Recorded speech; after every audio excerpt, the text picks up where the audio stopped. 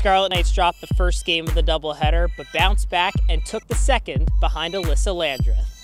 Me and my catcher, we were, you know, on the same page, really spotting the ball today, making sure everything was moving and stuff, so it was a success. The off speed was uh, really successful today um, with keeping them off balance and really locating that.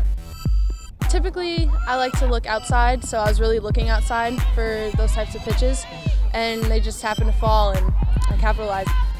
We just lost a little focus in the first game, and Hofstra is a solid team. They take advantage of any little miscue. So um, going into the weekend and beyond, I think it's important that we know we can make a mistake and regain our composure and win a game.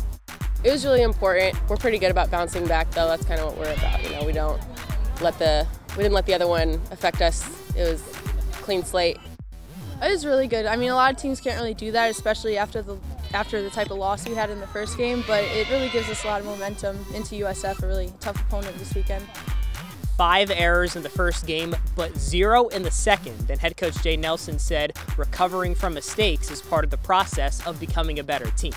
Reporting from the Rutgers softball complex, I'm Mark Sell.